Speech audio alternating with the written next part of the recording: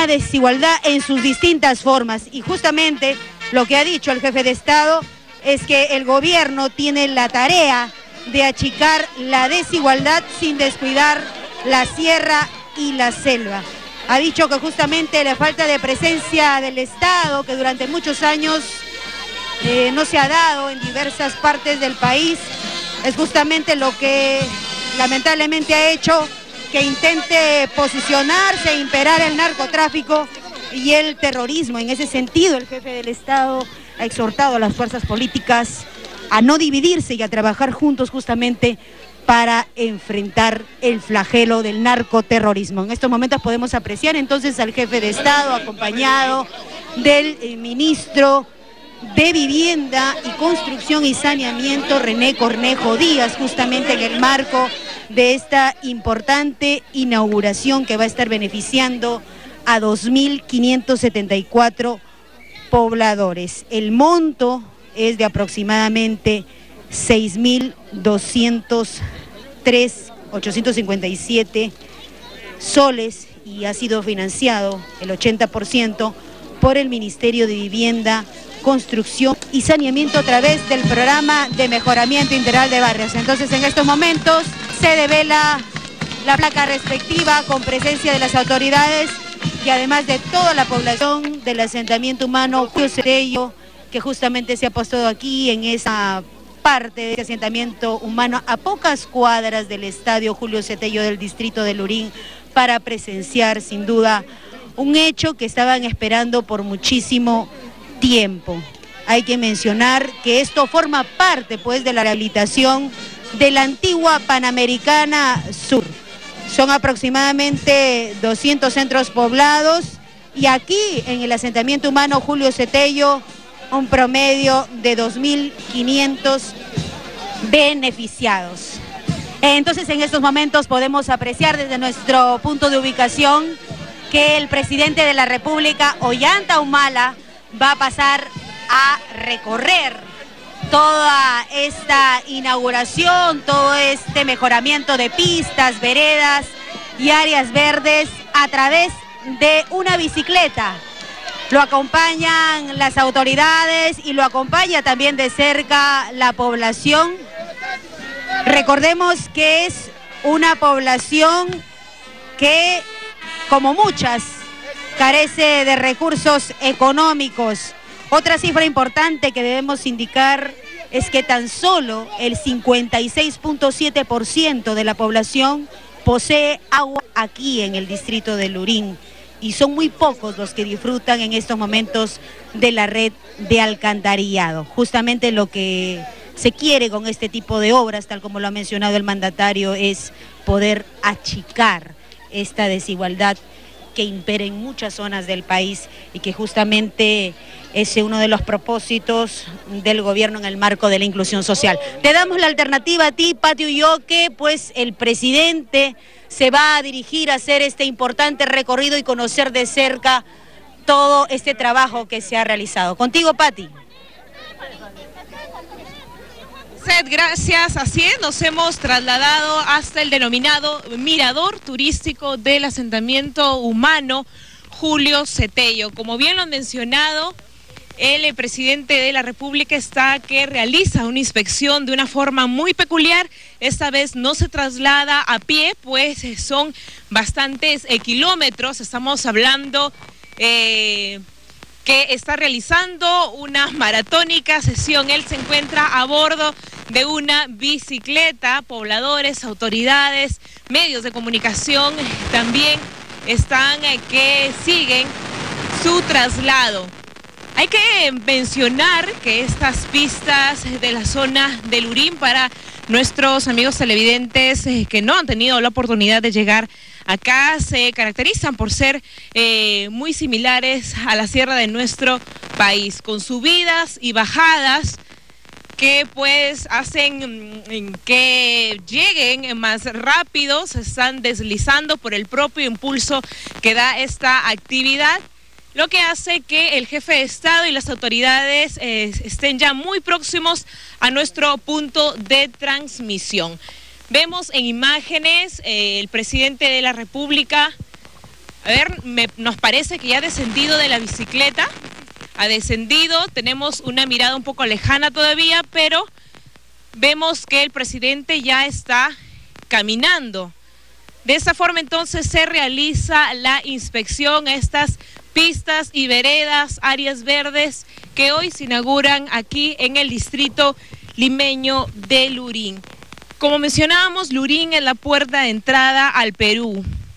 Se le denomina pues como el Valle Verde, el último Valle Verde de Lima. Y su trascendencia, su importancia, eh, nos eh, da cuenta por las diversas instituciones, plantas de tratamiento que aquí se encuentran. Hay algunas eh, instituciones como la Asociación de Productores de Animales Agropecuarios, la Asociación de Productores, de Productores, perdón, de leche, productores de ganado ovino que realizan sus actividades. Este tipo de obras de mejoramiento urbano los ayudan significativamente, pues no solo hablamos de un trabajo que se realiza a nivel local, sino que también tienen que salir del Urín para poder eh, trasladar sus productos. Lurín se destaca también por ser un distrito turístico y ecológico. Por lo tanto, la importancia de inaugurar también áreas verdes. Hablamos de asfaltado, de gras, de árboles que han sido plantados y que ayudan también a la respiración, al oxígeno de la ciudad. Estamos en el mirador principal, es el mirador turístico de esta zona del país. Aquí tenemos una vista privilegiada, observamos toda la ciudad y nos vamos a dirigir entonces, vamos a descender por una rampa que nos traslada de este mirador a la parte baja de la ciudad. Medios de comunicación, autoridades locales acompañan el recorrido que realiza el jefe de Estado. Como mencionamos, el mm, ministro de Vivienda, Construcción y Saneamiento, René Cornejo, acompaña también esta actividad ya que corresponde definitivamente también a su sector.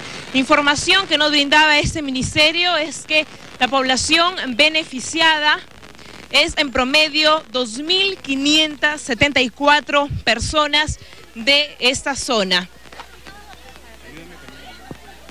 Más de 2.500 pobladores, son más de 35.000 metros cuadrados de pistas y veredas nuevas en Lurín. La población destaca esta nueva infraestructura urbana que los va a ayudar no solo en su desplazamiento diario, como lo mencionaba este pequeño de la institución educativa Julio Cetello, sino también a los eh, productores ganaderos, a la asociación de lecheros de la zona, a los productores de ganado ovino. Lurín es una zona agropecuaria definitivamente y el impulso de estas obras también representan que estos productores van a poder trasladar sus productos con más facilidad, que la zona comercial, la zona industrial que caracteriza a Lurín va a tener una mayor apertura, un mayor acceso para eh, el exterior, para los demás distritos de Lima. Esa es una actividad en vivo y en directo que usted lo aprecia vía la señal de TV Perú desde el denominado el último Valle Verde de Lima.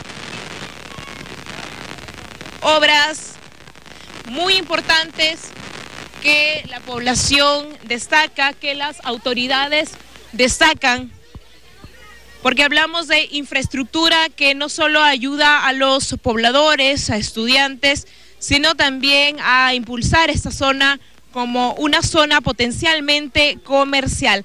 Hablábamos que eh, este proyecto incluye dos fases muy importantes. La primera incluye sectores como el 21, 22, 23 y 24. Otros sectores también importantes que corresponden al segundo proyecto de inauguración de pistas y veredas son los sectores 18, 19 y 20. Todos ellos corresponden al asentamiento humano Julio Cetello. Vamos a apreciar también otras importantes áreas verdes, árboles plantados, árboles plantados que hoy benefician a la población.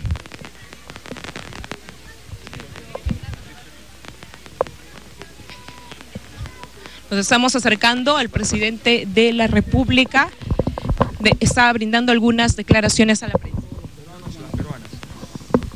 En segundo lugar, quiero que quede bien claro que habiendo tenido lo que es la experiencia de vivencia como militar y que he luchado contra estos terroristas en zonas de emergencia, quiero señalar claramente que nuestra posición es distinta a la posición de antes, donde habían eh, operaciones muchas veces que, que se ocultaban. Nosotros no ocultamos nada. Nosotros somos los primeros en, querer pedir que se aclare esto. Ya la, la posición oficial la han dado los ministros del sector que representan a Defensa e Interior. Ha habido una reunión en el Congreso, tengo entendido, una parte ha sido en sesión reservada o secreta, porque en estas cosas es, hay temas que no se pueden sencillamente eh, decirlos públicamente porque son informaciones que no nos ayudan y más bien ayudan a los enemigos de la democracia. Pero tengan en cuenta de que en esta nueva estrategia estamos haciendo intervenciones precisas, con mayor inteligencia y que esas operaciones nos llevan a, a capturas de mandos importantes, a enfrentamiento con pérdidas de vidas humanas y, en este caso eh, de un mando muy importante de esta organización terrorista a la recuperación de niños y niñas que vienen siendo eh, eh, adoctrinadas para, en búsqueda de continuar una lucha prolongada contra la democracia, contra el Estado de Derecho. Y también por la experiencia que uno adquiere en la lucha contra el terrorismo, sabemos que estas familias son chantajeadas, son cooptadas por esta organización a través de la propiedad de la tierra, porque esas familias no tienen a dónde irse y tienen que regresar a la tierra, a la chacra y someterse a esta organización terrorista. Allá en estas zonas rurales, decir que uno no sabe nada cuando al costado hay material subversivo, hay armamento, hay mandos terroristas, eso no es creíble. Lo que hay es una política de miedo, de que nadie quiere delatar en esas zonas porque no hay presencia del Estado, porque el Estado durante muchos años eh, asumió de que estas poblaciones no eran importantes para el país y que estos territorios no eran importantes para el país, que el país podía seguir avanzando manteniendo estas ínsulas o estas zonas en las cuales el Estado no pelea con estas organizaciones criminales y economías ilegales y más bien las deja florecer. Eso no está pasando con nuestro gobierno. Nosotros hemos tenido que corregir hasta el nombre de los valles de los ríos Apurímac, N, porque también está incluido el Mantaro. Y eso fue más bien un ocultamiento, en todo caso, o una omisión de parte de los diferentes gobiernos que no quisieron reconocer que gran parte del foco terrorista en el BRAE es justamente en las zonas del Mantaro. No es que se haya, eh, haya crecido, sino que ya esa es la realidad que hemos encontrado, pero que como es nuestra política, antes de criticar al que sale, nosotros nos ponemos a trabajar. Así queremos construir una nueva forma de hacer política. Y en ese sentido, queremos señalar que en gran medida las poblaciones que viven aisladas en estas zonas eh, rurales, donde muchas veces no hay agua, no hay pistas y veredas, no hay electricidad, no hay carreteras, no hay mercados para sus productos y muchas veces viven subsistiendo de, los servicios de hoja de coca, están chantajeadas. Estas organizaciones terroristas se llevan a sus hijos, los secuestran, los raptan a sus hijos y se los llevan en las columnas y de esa manera obligan a, la a esas pequeñas poblaciones a colaborar pasiva o activamente con estas organizaciones terroristas.